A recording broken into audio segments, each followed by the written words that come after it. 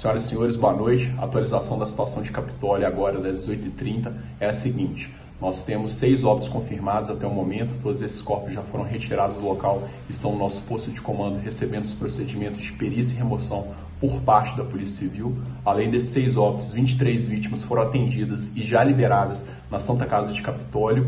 Existem ainda outras quatro vítimas que foram atendidas e também liberadas na Santa Casa de São José da Barra e outras duas vítimas que estão em Piumhi internadas com fraturas abertas. Outras duas vítimas estão na Santa Casa de Passos em estado estável.